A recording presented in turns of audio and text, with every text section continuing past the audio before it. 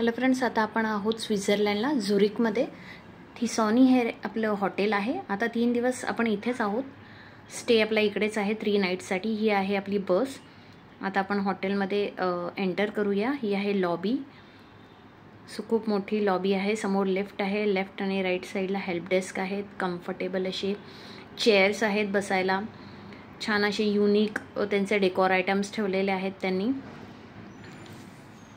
रात्रीच्या वेळी छान थंडी पडलेली त्यामुळे फायरप्लेसच्या आजूबाजूला बसून आम्ही सर्वजण गप्पा मारत होतो.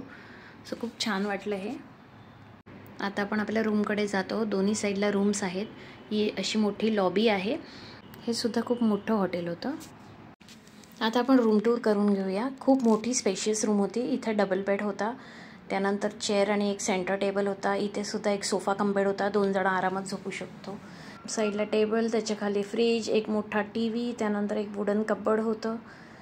इथे टोस्टर होता की इलेक्ट्रिक किटल होती चहा कॉफी तुम्ही बनवून घेऊ शकता. नॅपकिन्स टॉवेल्स प्रोव्हाइड केले होते. इथे मोठा मिरर होता त्यानंतर hair dryer tissue paper box shoe polish त्यानंतर स्लीपर्स होते.